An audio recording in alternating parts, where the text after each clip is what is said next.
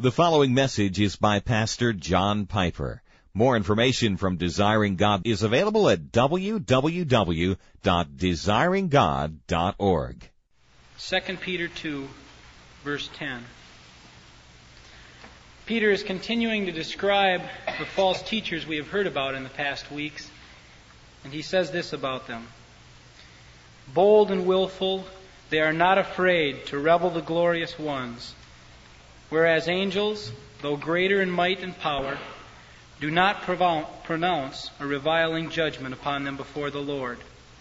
But these, like irrational animals, creatures of instinct, born to be caught and killed, reviling in the matters of which they are ignorant, will be destroyed in the same destruction with them, suffering wrong for their wrongdoing.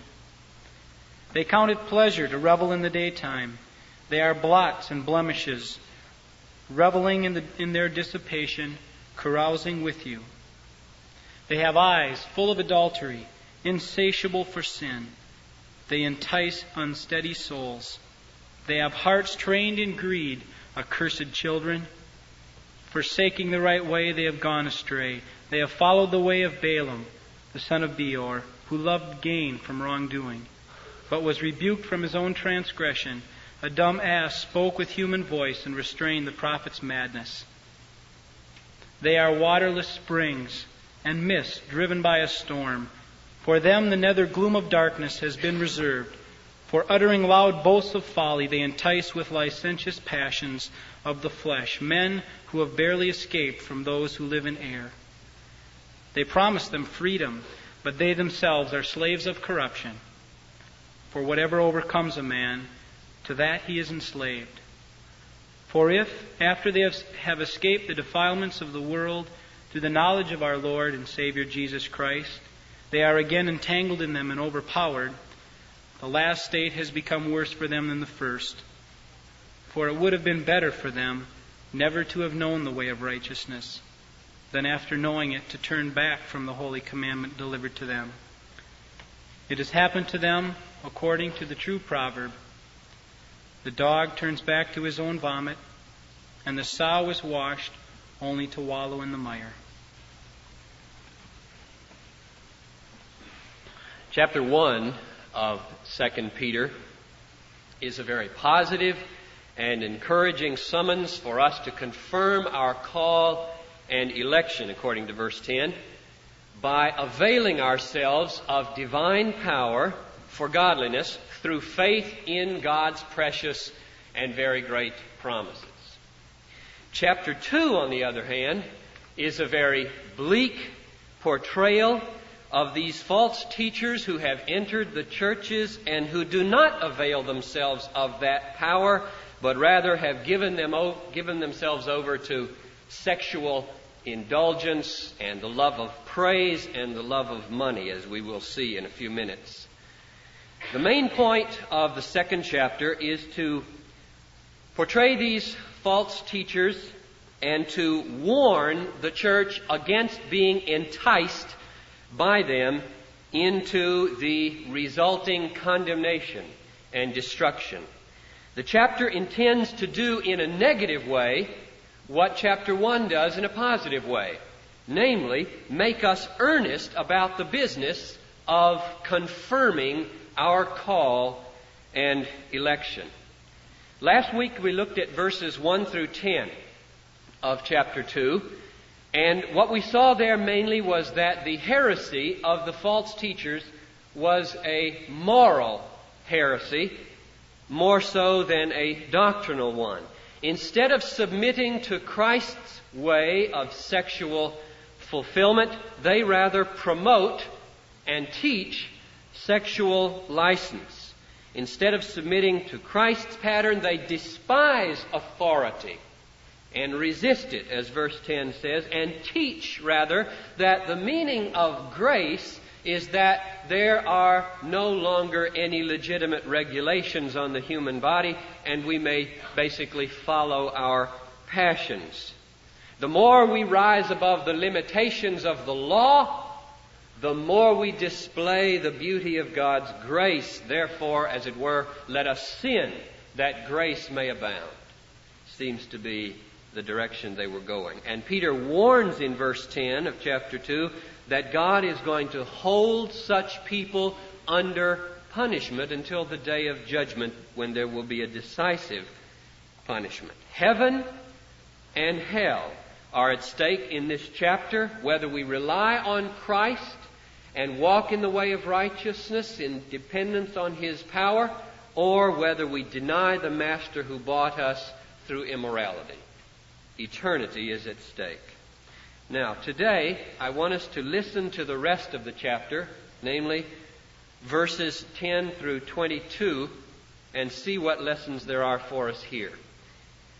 It falls into four sections as I see it, and we'll look at them one at a time. The first section is verse 10, second half of it, to the first half of verse 13. And the focus here is on the brazen willfulness and proud self sufficiency of these false teachers. Then the second unit we'll look at is the second half of verse 13 down to verse 16, and the focus there is on their unashamed indulgence in sex and the love of money. The third unit is simply verse 17, which I think is intended to expose the emptiness of their teaching. It seems to have promise, but it's found to be empty. And then the last unit will be verses 18 to 22, where Peter warns how if these false teachers entice you away from the way of righteousness, then your latter state will be worse than the former. So let's look at these four sections and see what the Lord may have for us here at Bethlehem this morning. We'll read, first of all, 10 through 13. Bold and willful, they are not afraid to revile the glorious ones. Whereas angels, though greater in might and power, do not pronounce a reviling judgment upon them before the Lord, but these, that is, the false teachers, like irrational animals, creatures of instinct, born to be caught and killed, reviling in matters of which they are ignorant, will be destroyed in the same destruction with them, suffering wrong for their wrongdoing. Now, two possible interpretations here. The most common one, it's very possible that the glorious ones referred to here in verse 10 are the fallen angels described in verse 4. And Peter is saying then that the false teachers are so brazen, so cocky, so self assured that what they are saying is, we don't come under any evil influence of supernatural beings. We're free from that. Freedom is what they promise. So they have a very cocky self assurance, even against the glories, that is, the fallen angels, whom they revile as if they had no influence upon them. Then, to show how great this arrogance is, Peter adds that the angels, and here under this interpretation he would mean the good angels, these good angels, they don't presume to pronounce a reviling judgment upon the fallen angels. Rather, they are humble enough to pass judgment over to God and leave it to Him. I have a problem with that interpretation, and the main problem is this. It seems very unlikely to me that Peter would call the fallen angels glorious ones, or just the glories. Literally, the word is plural, the glories. They reviled the glories. That word was used in 1 Peter chapter 1, verse 11, to refer to all the glories surrounding Christ at his exaltation and second coming. And then if you study the word glory in 2 Peter, you find that it too, in chapter 1, verse 3, and verse 17, and in chapter 3, verse 18, it is associated with Christ in his exalted state and his second coming. And then if you look at 2 Peter chapter 3, verses 3 and 4, what you find these false teachers doing there is scorning the second coming. They don't believe in it. We're going to talk about that next week. So I'm inclined to think that when Peter says they revile the glories, he means that they mock the glories of God in Christ, especially as they are manifested in his second coming. And then, if that's the case, when it says in verse 11, the angels And notice it doesn't say the good angels, because I don't think he has in mind any contrast between good or evil angels. He just says, the angels, though greater in might and in power, and I think he means greater than the false teachers, do not pronounce a reviling judgment on them, that is, the false teachers, before the Lord. So probably what's going on here is that he's saying the false teachers presume in their proud and boastful way to scorn the glories of God that will be manifest at the second coming. And to accent their arrogance, he says, the holy angels of God, who have every right to point out the evils and the arrogance of the false teachers, let it go. And hand judgment over to God. They don't even presume to pronounce a reviling judgment on the false teachers, and that accents how unbelievably brazen and self willed these false teachers are, that they would exalt themselves above the holy angels and do what even they won't presume to do. And then verse 12 adds that the false teachers are like animals. Now I think he means in two senses. One, they are utterly ignorant about what they speak. Picture a wolf at the sunrise, howling against the glories of the sunrise utterly ignorant about the beauties and the glory that are making him howl away. And secondly, they are like animals in that they will be utterly destroyed. They will come to an ignominious end in judgment. There's an admonition for us here. It's not hard to see. And the admonition surely is this let us beware, people, of spiritual pride. It is so easy once you learn a little bit about God or about His second coming or about freedom to become arrogant and haughty and cocky. We need to hear the word of Peter about the danger of it and the word of Paul. Let him who thinks that he stands take heed lest he fall. The second unit is chapter 2, 13 to 16. Let's read that. They count it pleasure to revel in the daytime. They are blots and blemishes, reveling in their dissipation, carousing with you. They have eyes full of adultery, insatiable for sin. They entice unsteady souls. They have hearts trained in greed, accursed children. Forsaking the way, the right way, they have gone astray. They have followed the way of old Balaam, Numbers 22, the son of Beor, who loved gain from wrongdoing, but was rebuked by his own transgress- for his own transgression. A dumb ass spoke with a human voice and restrained the prophet's madness. The first thing we see here is that the brazenness and willfulness of the false teachers is continued by saying they do in the daytime what most sinners will only do at night. That's the first accent. They even do it in the daytime. They are so willful. Then that phrase in verse 13, carousing with you, literally means eating feasts with you.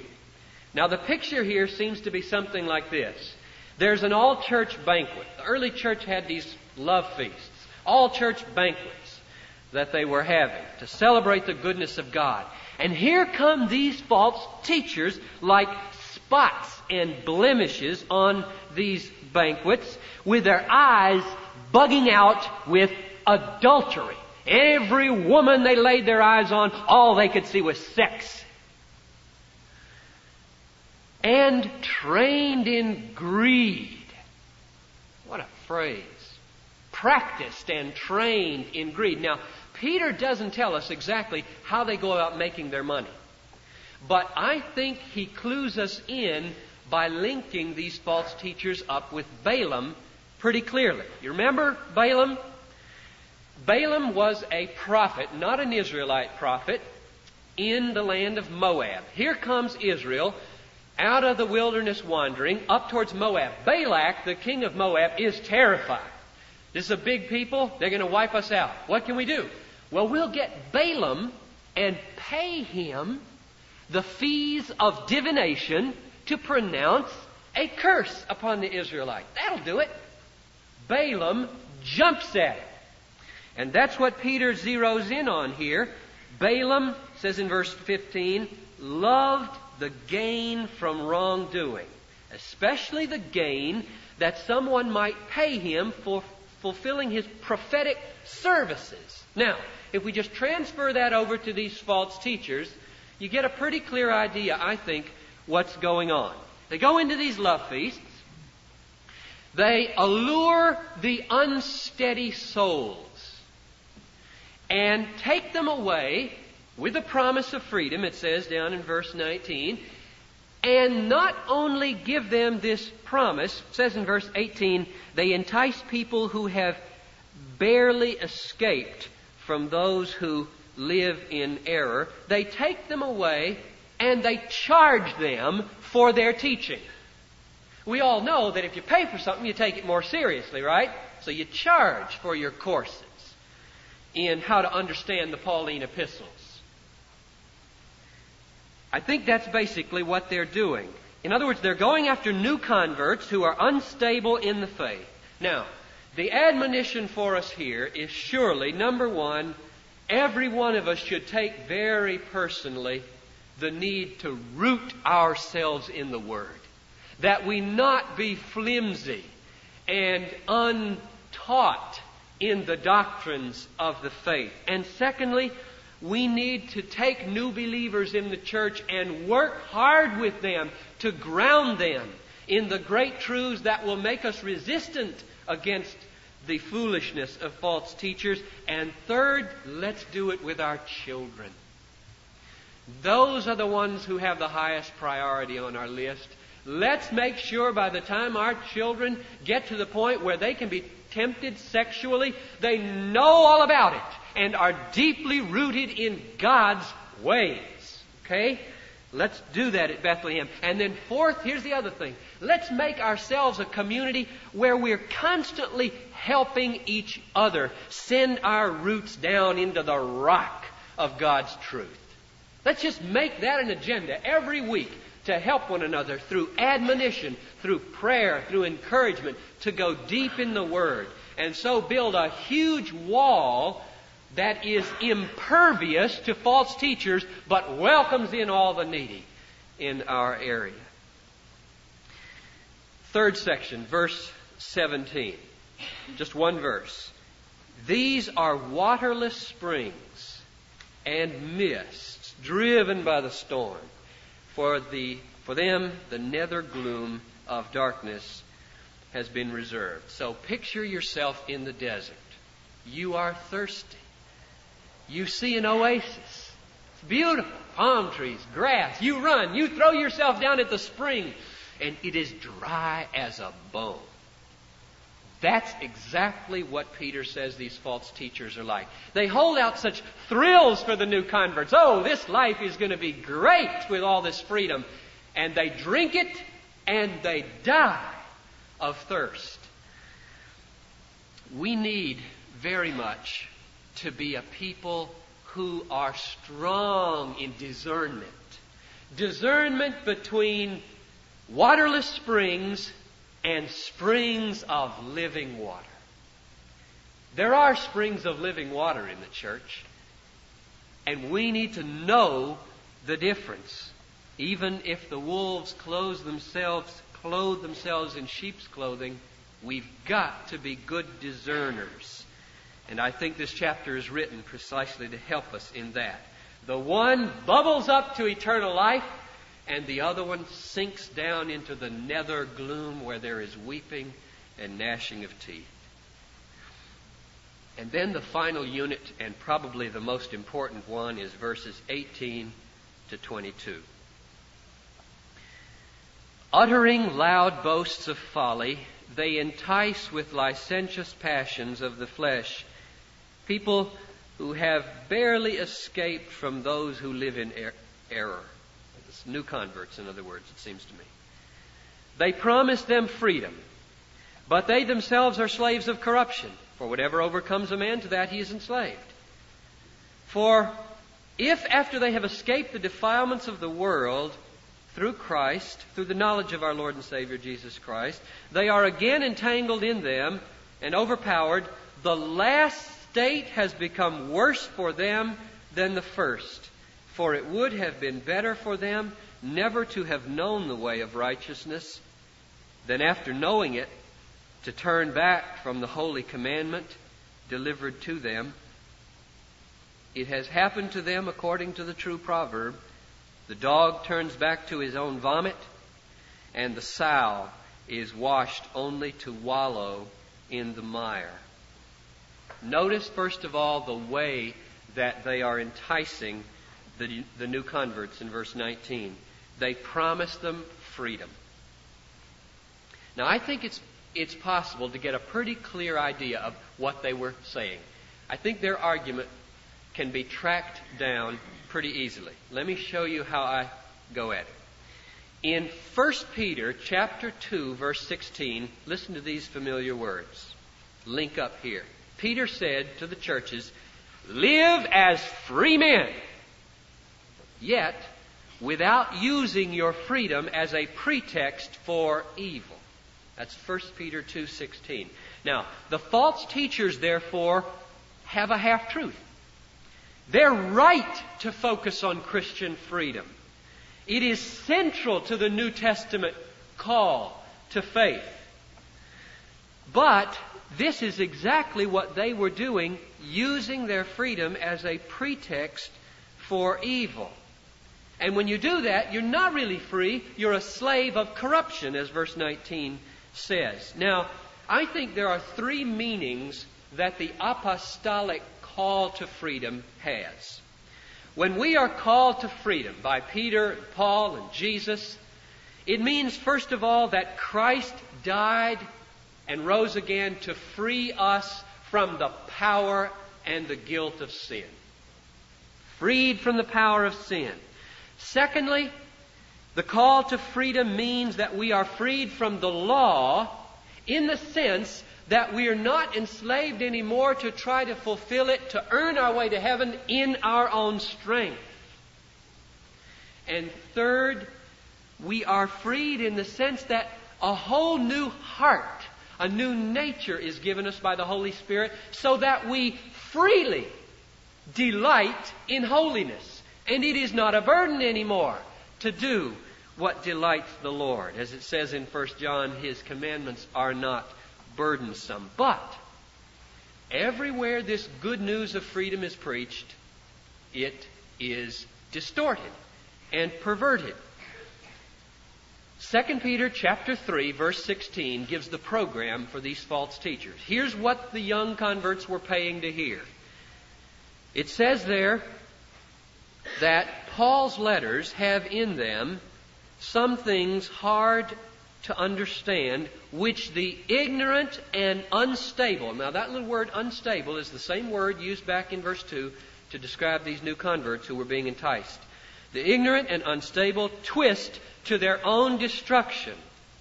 So what the false teachers were doing was taking these unstable souls and teaching them how to use the Pauline epistles to justify their sexual freedom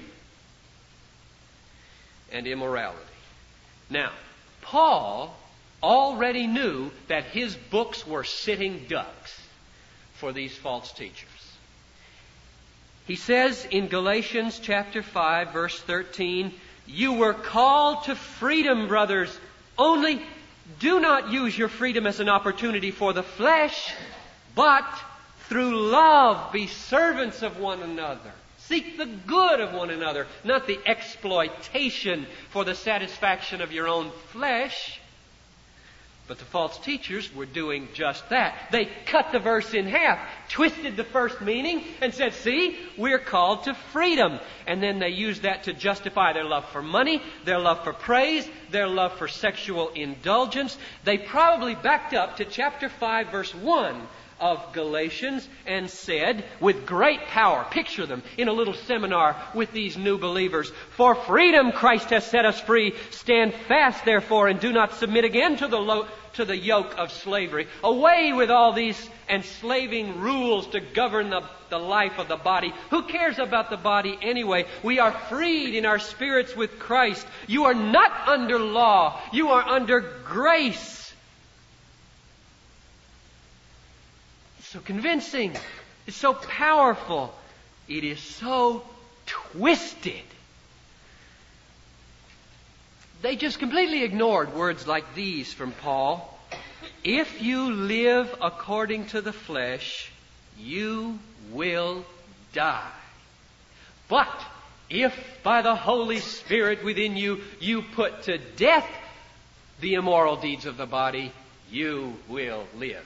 That they jumped over. They skipped over and didn't emphasize that in their seminar at all. And so Peter blasts the trumpet of warning in these churches so that these new converts and the old ones will wake up and hear that the scriptures are being distorted to their own destruction and that the promised freedom is simply a summons to bondage and destruction. Then in verses 20 and 21, the word of warning zeroes right in on these new believers. If you turn away from the holy commandment, if you forsake the way of righteousness, if you deny the master who bought you by your immorality, you are not saved. And your condition is worse than it was before you ever knew the way of righteousness. Peter pictures the real possibility in verse 20 that learning about Jesus Christ can enable a person to make a start in cleaning up his life. The outward appearances of sin are taken away. Comes to church, he sings, he goes to Sunday school. And then, like Jesus says, the cares and the riches and the pleasures of life choke this new little vine, bears no fruit, it withers, and it dies. And Peter adds, its death is worse than had it never heard the gospel in the first place. Now, let me stress two points from these verses here to try to make the meaning clear and avoid misunderstandings. The first point is this there is a principle here, and the principle is the more you know about the way of Christ, the more severe will be your punishment for rejecting it in the end.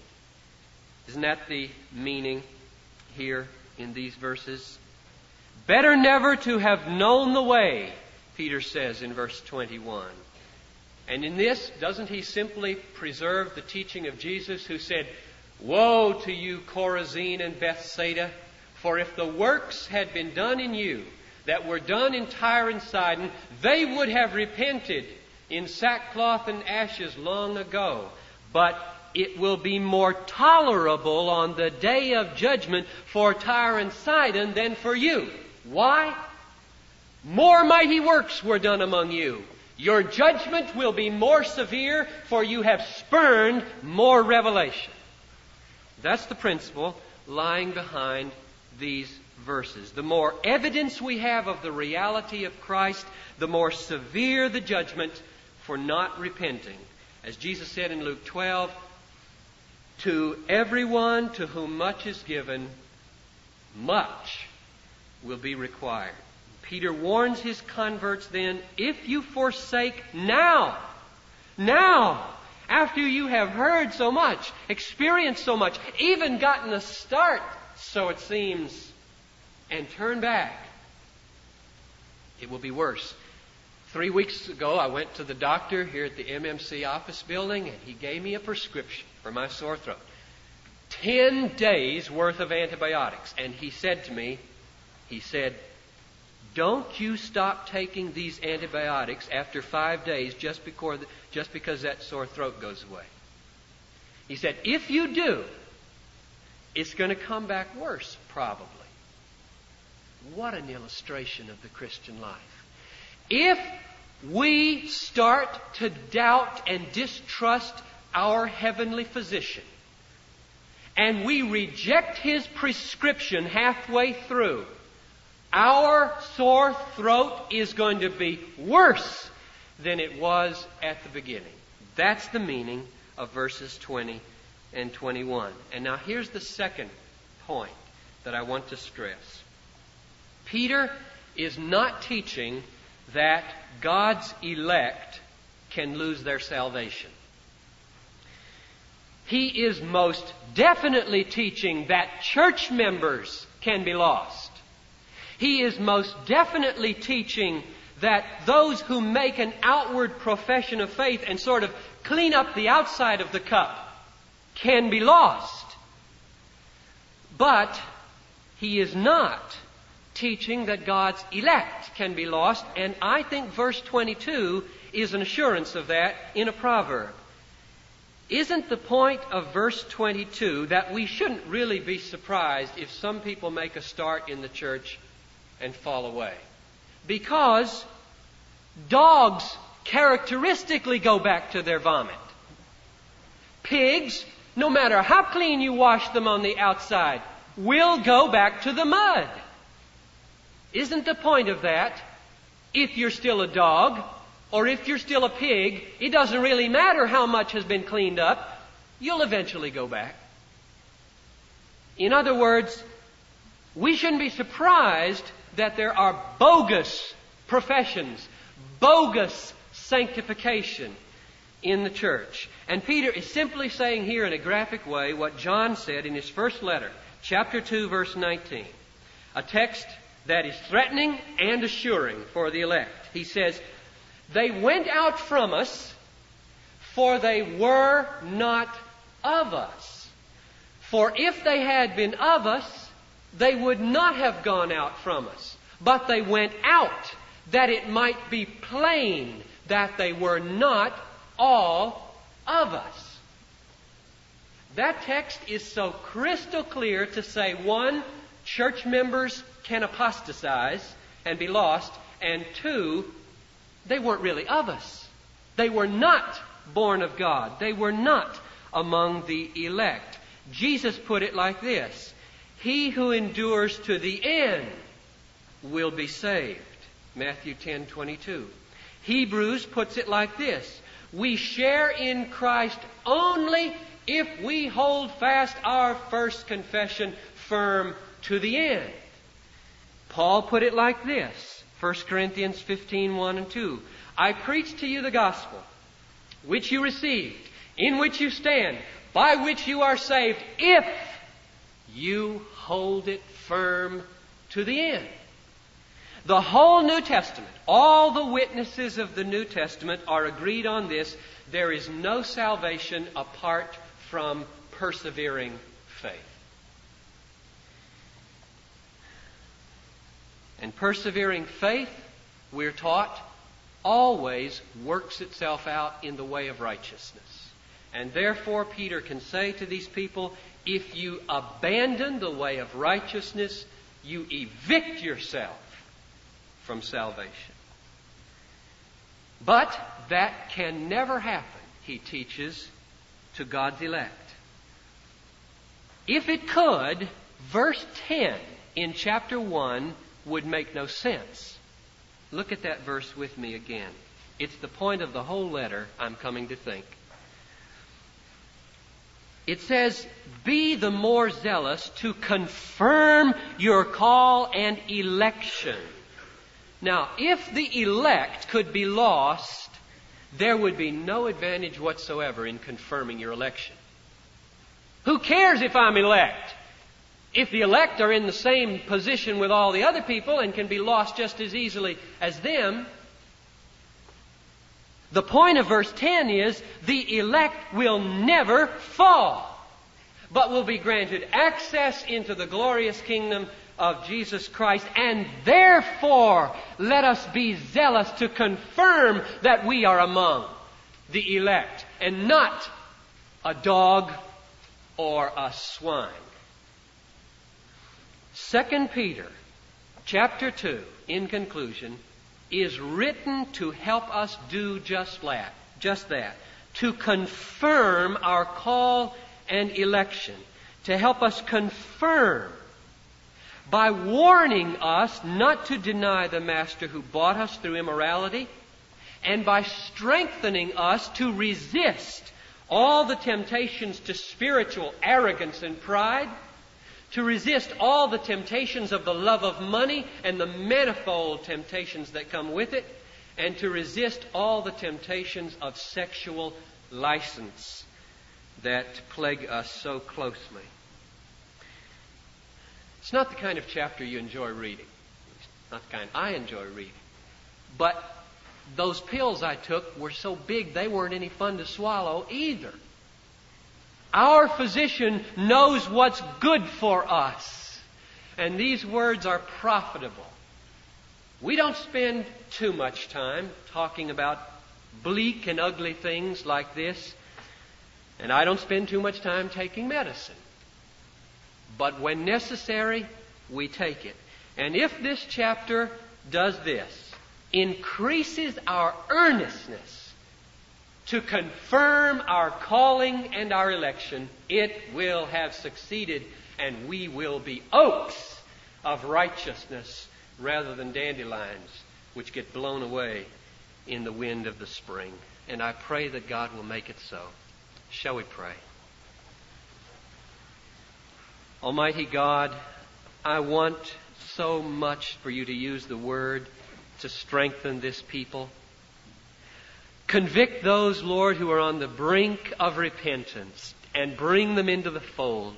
Let no one leave today, Father, please, without having laid themselves down in the lap of the Lord who bought them by his precious blood. Bring them into the family. Root them in the faith. And then for all those who know you already, please, Father, give us resistance against any false teaching. Help us not to be cocky in the faith. Help us not to love money. Help us not to love illicit sex. Help us to love the precious and very great promises. We love you, Father. We want to be dismissed with your benediction. Shall we stand for that benediction? May the God of all hope fill you with joy and peace in believing, in order that by the power of the Holy Spirit you might abound in hope. Amen. Thank you for listening to this message by John Piper, pastor for preaching at Bethlehem Baptist Church in Minneapolis, Minnesota. Feel free to make copies of this message to give to others, but please do not charge for those copies or alter the content in any way without permission. We invite you to visit Desiring God online at www.desiringgod.org. There you'll find hundreds of sermons, articles, radio broadcasts, and much more, all available to you at no charge. Our online store carries all of Pastor John's books, audio, and video resources. You can also stay up to date on what's new at Desiring God. Again, our website is www.desiringgod.org or call us toll free at 1-888-346-4700. Our mailing address is Desiring God, 2601 East Franklin Avenue, Minneapolis, Minnesota 55406. Desiring God exists to help you make God your treasure because God is most glorified in us when we are most satisfied in Him.